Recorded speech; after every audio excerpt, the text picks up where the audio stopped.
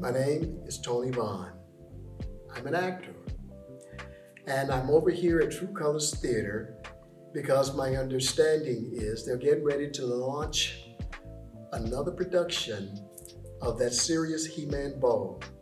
A production that me, Kenny Leon, and Tom Jones were fortunate enough to do this back in the 80s. The reason why I think this story is being played now and the importance of it is because you can actually see the friendship. The three men, three men that grew up together in the neighborhood.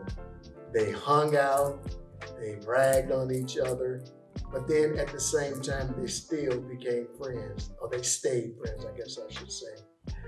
And the reason why that's so important nowadays is because you got so many people who are out there and you want to love and hug them and and and reminisce about the things that you once did in the past.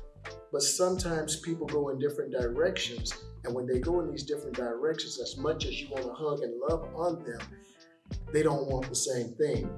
The wonderful thing about this production, you'll be able to see, aside from the different directions each one of the characters went in, they came back together. Even though they had differences, they ironed out those differences and they continued to love on each other. That's what's needed in today's life.